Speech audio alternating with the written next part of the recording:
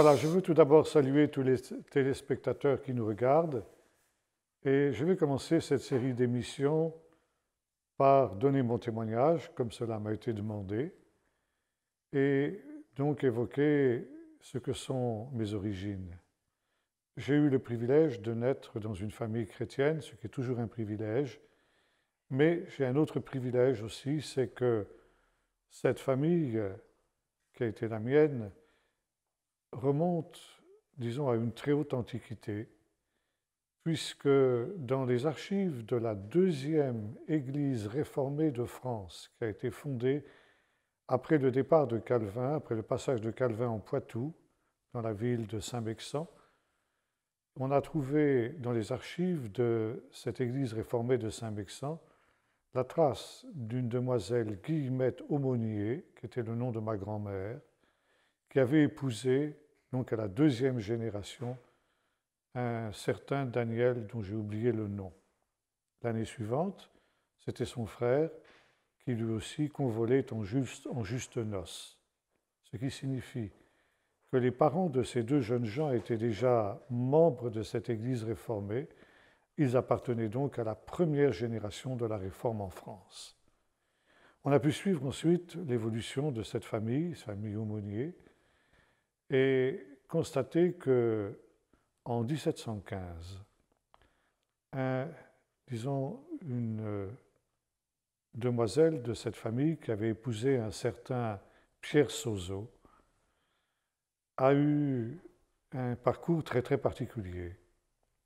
1715, c'était la mort, l'année de la mort du roi Soleil, et la famille Sozo, qui était donc par alliance une euh, famille qui descendait de la famille Aumônier, avait décidé de fuir le royaume de France. On était à l'époque de la révocation des de Nantes, où la pratique de la religion réformée était interdite. Et cette famille Sozo, aumônier, avait décidé de fuir le royaume et de se rendre en Angleterre. Ils avaient décidé de s'embarquer à La Rochelle, mais quelque part, ils ont été trahis et c'est ainsi que sur la route qui menait de Saint-Mexan à La Rochelle, ils ont été arrêtés.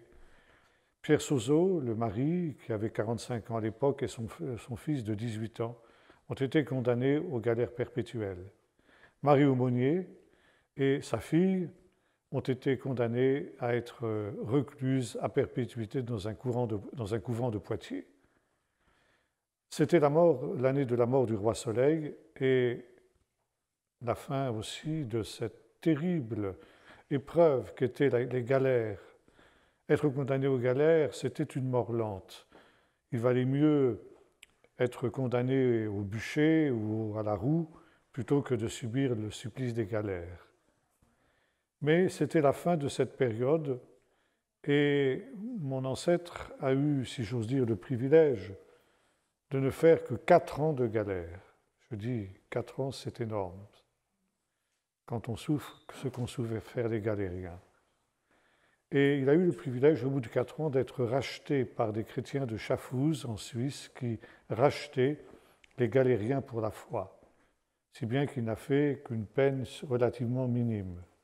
Je ne sais pas s'il a pu rejoindre sa femme et sa fille, toujours est-il qu'il euh, est en quelque sorte la gloire de ma famille. Et je dois dire que cet homme m'a profondément inspiré.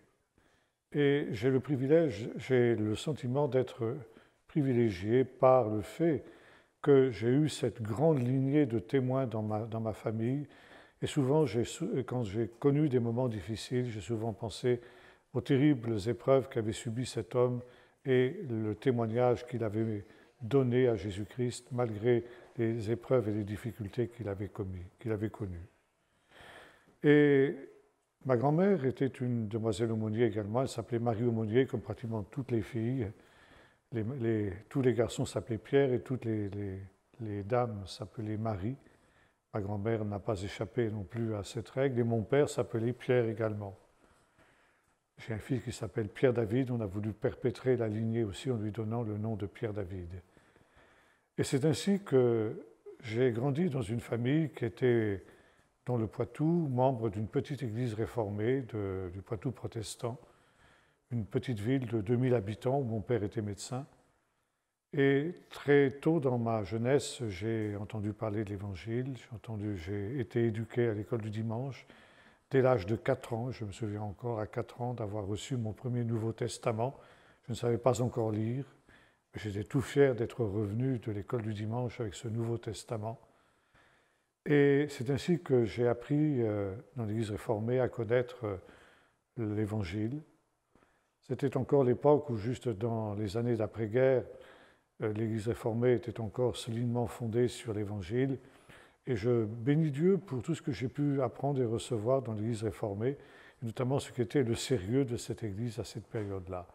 J'ai eu le privilège d'avoir un pasteur qui était un homme que je considère comme ayant été un homme de Dieu, sa femme l'était également.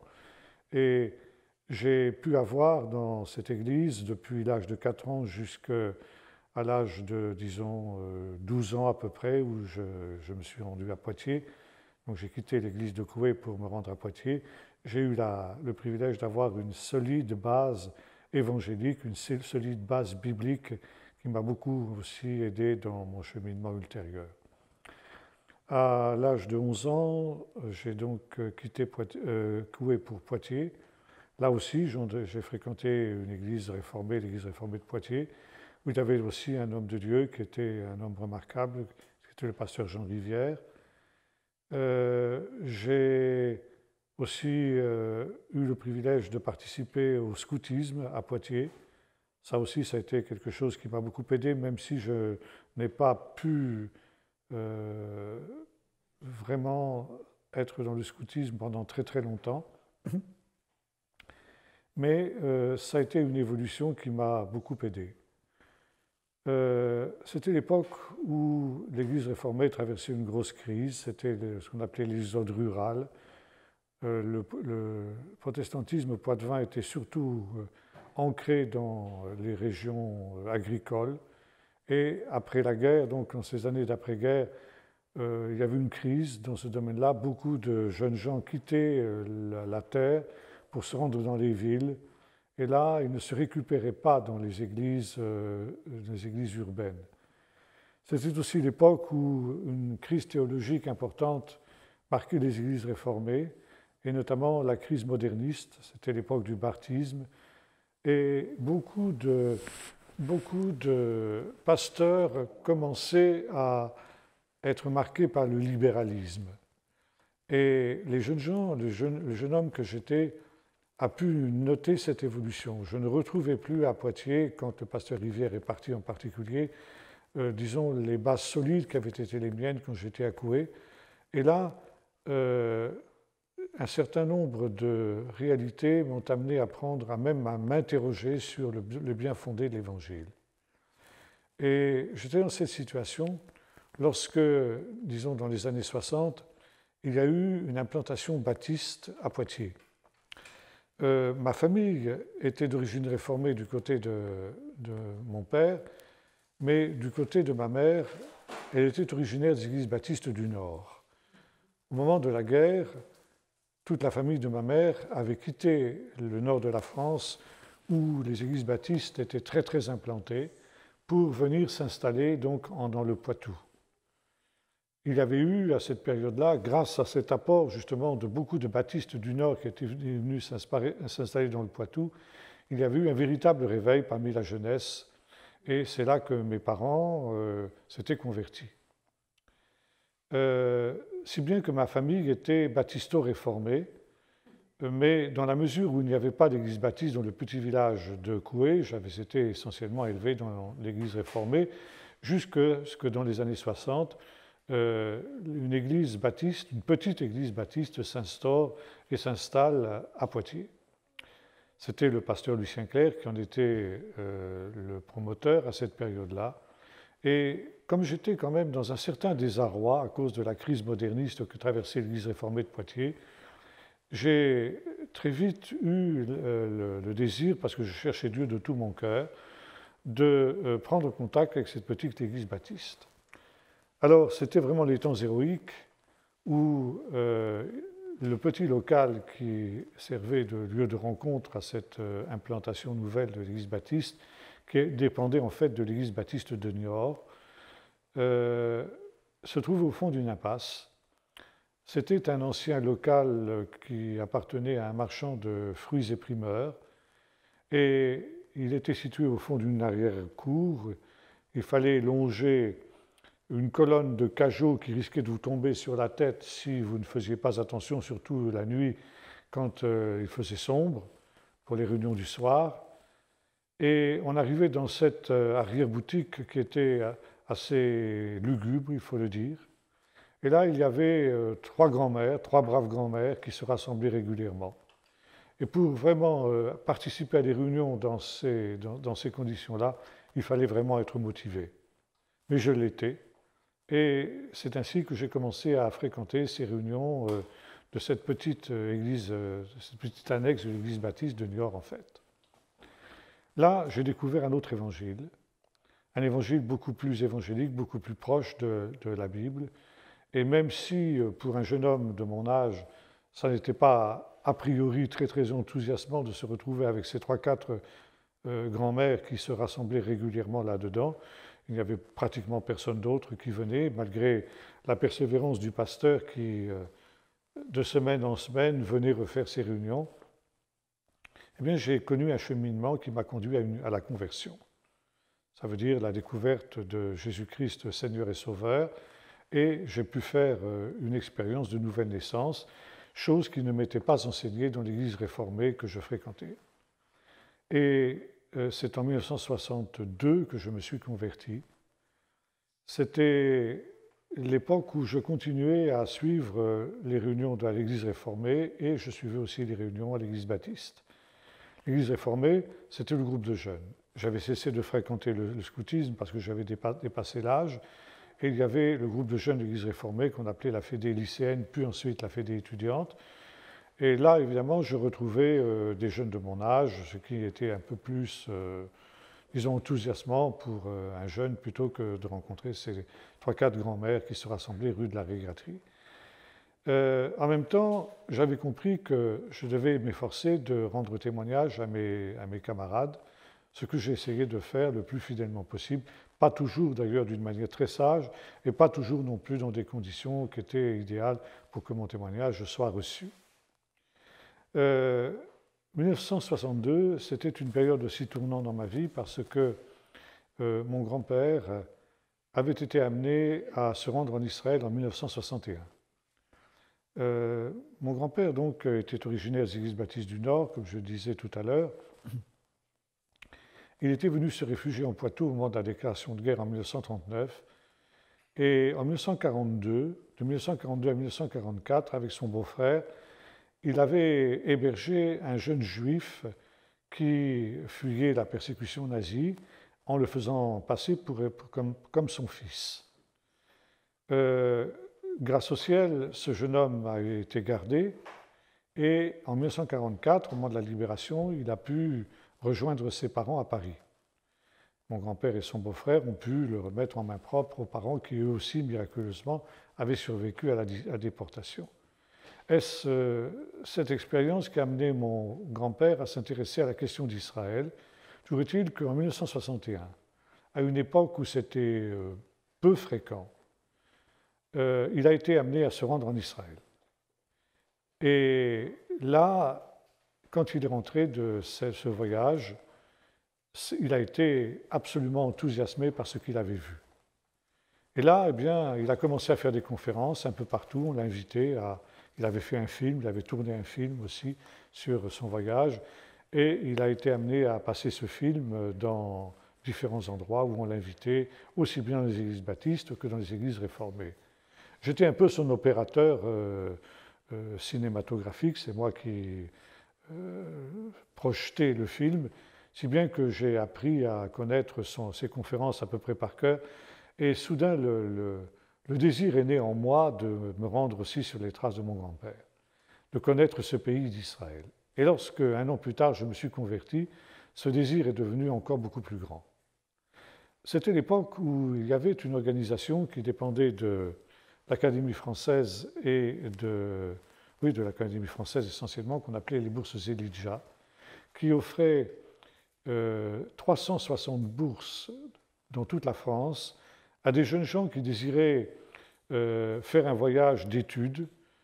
et on devait pour cela présenter un projet qui était ensuite examiné par des membres de l'Académie française.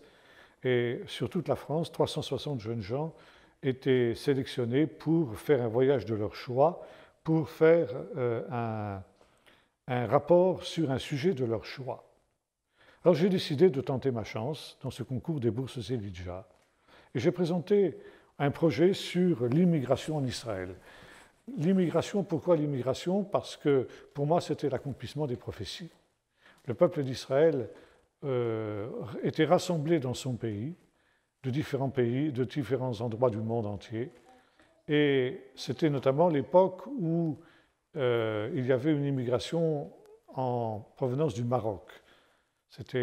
on était en plein dans les événements d'Afrique du Nord, les événements dramatiques, la fin de la guerre d'Algérie, et beaucoup de Juifs euh, quittaient le Maghreb pour se rendre dans le pays d'Israël.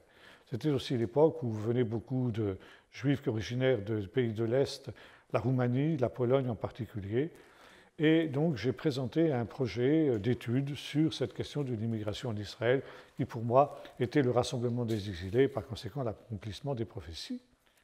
J'ai eu euh, le privilège de voir mon projet, c'était un projet retenu par la Fondation des Bourses Elijah, et c'est ainsi qu'après avoir vécu de véritables miracles pour trouver une place sur un bateau, parce que la règle des Bourses Elijah, c'était de ne partir qu'avec un budget extrêmement restreint.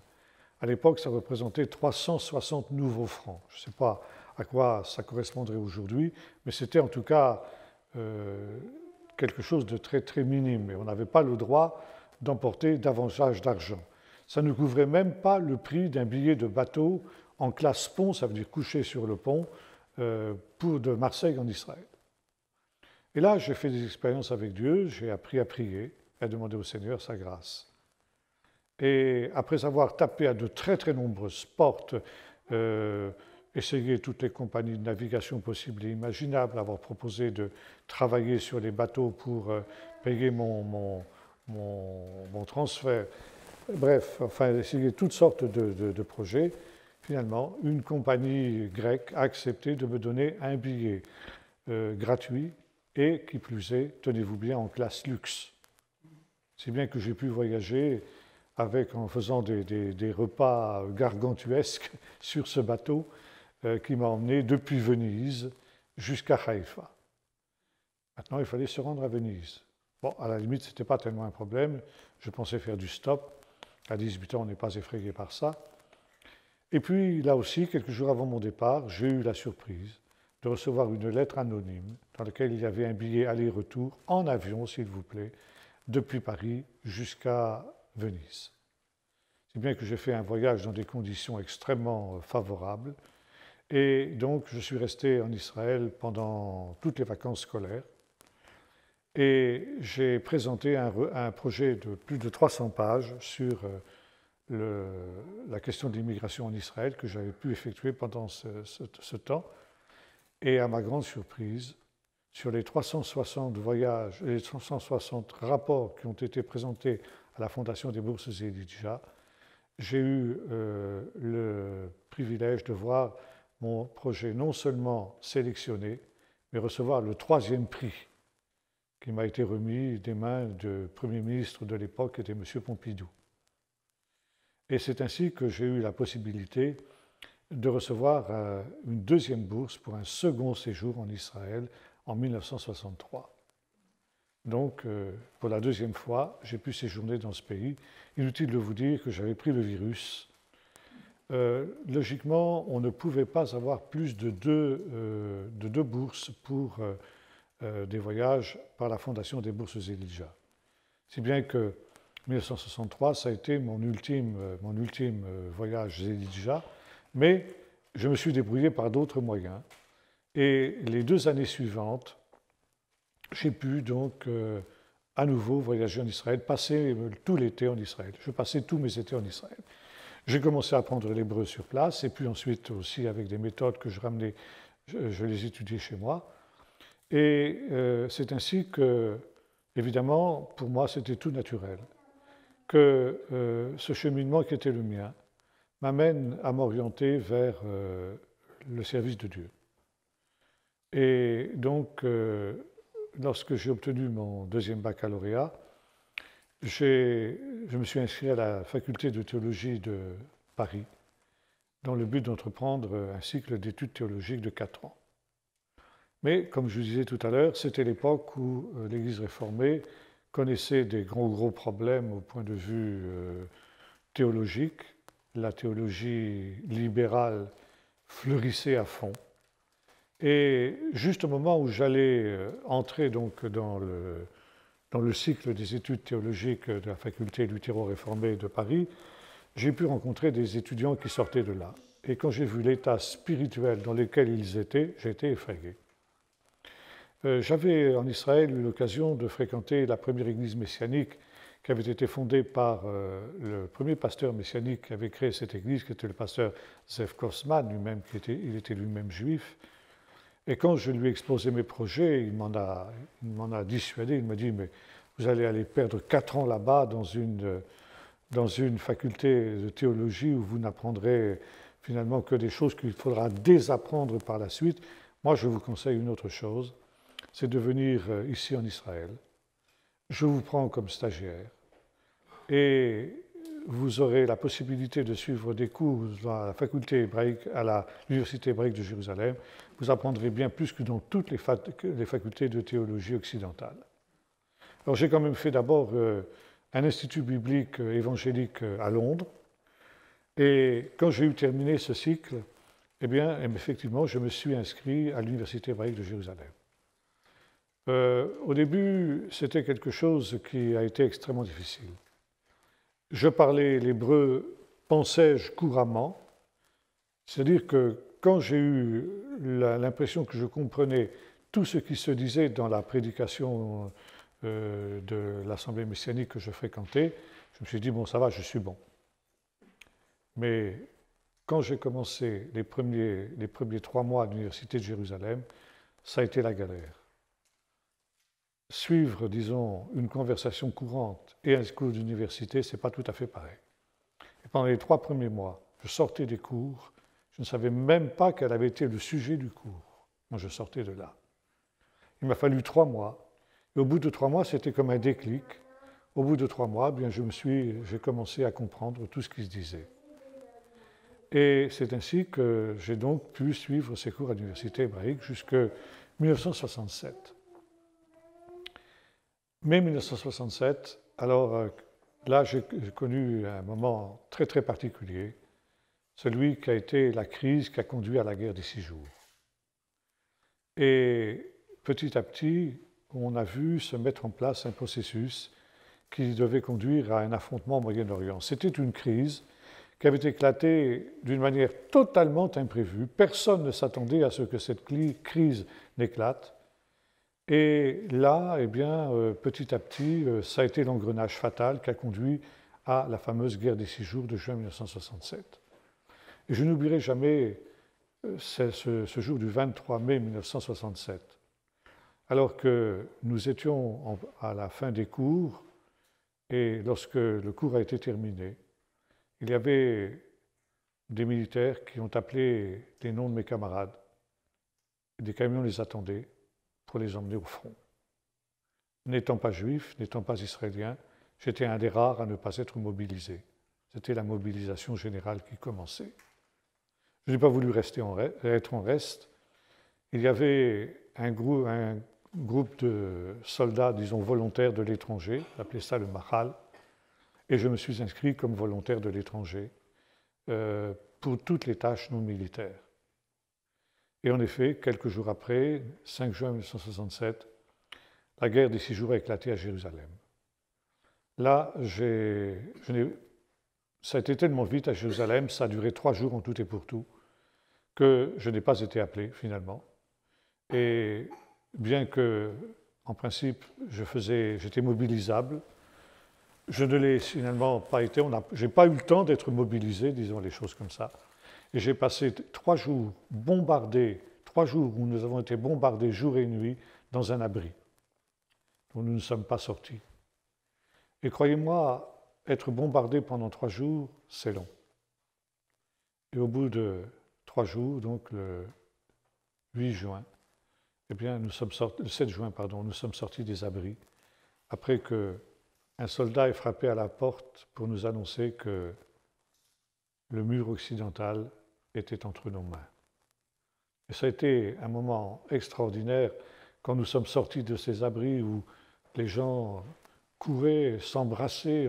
J'ai rencontré mon professeur, un de mes professeurs d'assyriologie qui lui aussi euh, se rendait à la poste pour donner des nouvelles par télégramme à sa famille qui était certainement à l'étranger. Nous sommes tombés dans les bras l'un de l'autre, nous nous sommes embrassés, n'est-ce pas? C'était une atmosphère absolument extraordinaire.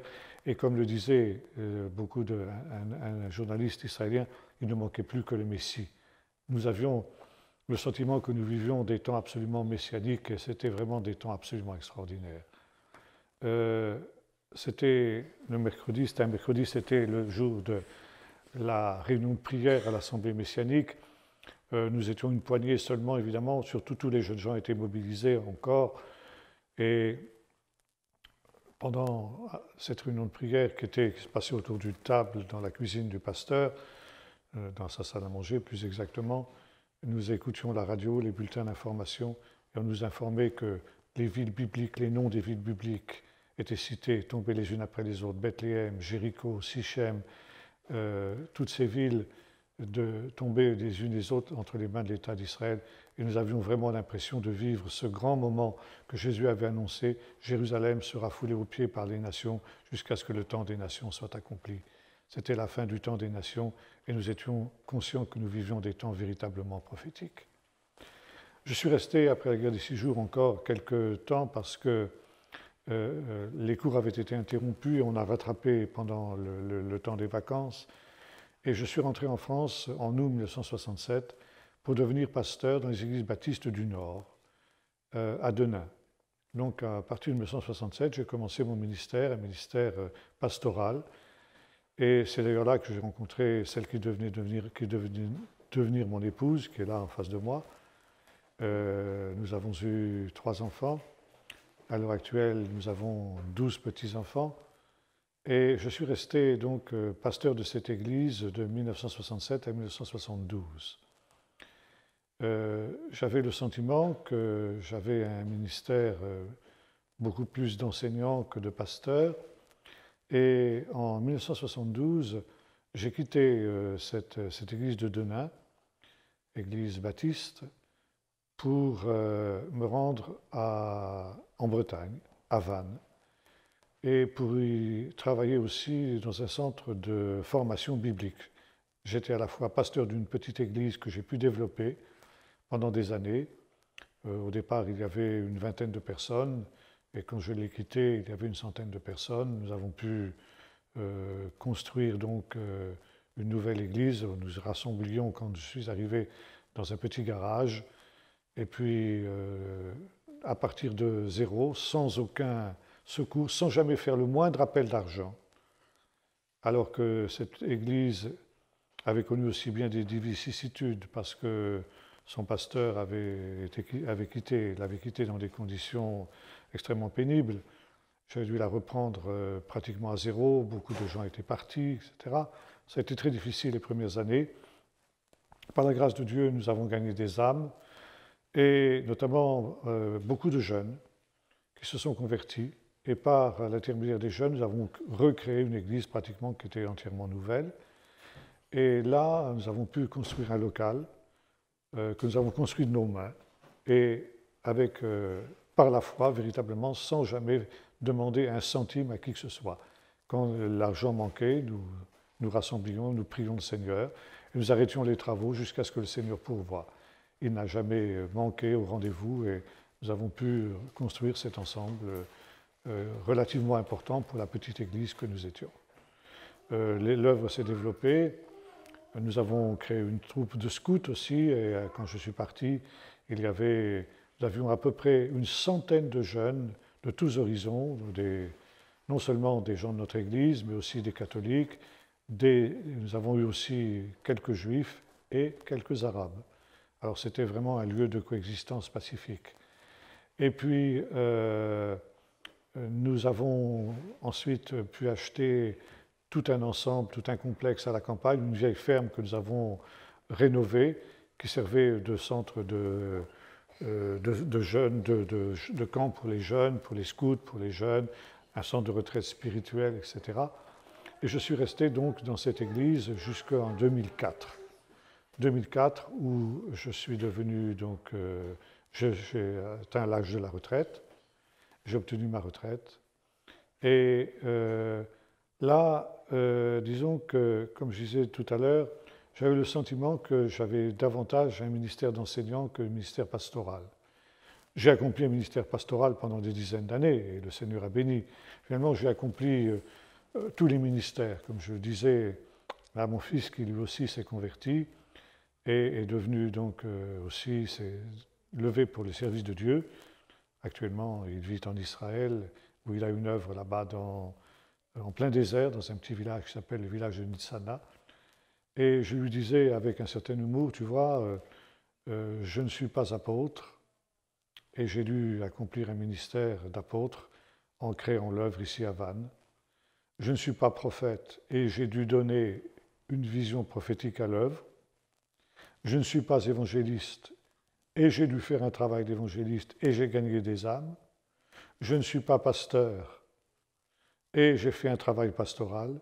Et le seul ministère qui est le mien, que le ministère d'enseignant, de, bien, finalement, je n'ai pas eu vraiment l'occasion de le faire. Il a fallu attendre l'âge de la retraite pour que ça s'accomplisse. À l'âge de la retraite, donc, j'ai eu les coups des franges, parce que c'était, pour beaucoup, disons, c'était une question aussi un peu financière, disons les choses telles qu'elles sont. Et, financièrement, j'étais libre à la retraite, et par conséquent, j'ai pu me consacrer à, à un ministère d'enseignant. Et depuis 2004, donc, je suis pasteur en diaspora. Ça veut dire que je n'ai plus d'église fixe et j'enseigne partout où cela m'est demandé. Euh, j'ai l'impression que c'est maintenant seulement que mon ministère s'est véritablement épanoui, que je suis véritablement dans ce que le Seigneur a prévu pour moi. Et là, je suis heureux dans le ministère qui est le mien. Euh, depuis que mon fils s'est installé en Israël, et lui aussi a eu euh, à cœur de, euh, de, maintenant de créer un centre là-bas pour une formation de ceux qui voudraient s'intéresser aux racines juives du christianisme. Et donc, dès le mois de septembre prochain, il lance pour une quinzaine d'inscrits, il y a déjà une quinzaine d'inscrits pour le mois de septembre, euh, un centre de formation pour euh, l'étude des racines juives du christianisme. Et je vais l'épauler évidemment dans cette tâche. Euh, ce sera maintenant, je pense que je vais me centrer essentiellement sur ce ministère-là. Ça va être l'essentiel de mon ministère, jusqu'à ce que, aussi longtemps que le Seigneur me donnera la force de le faire. Voilà donc en gros, si vous voulez, ce qu'a été mon cheminement. Et je rends grâce à Dieu pour...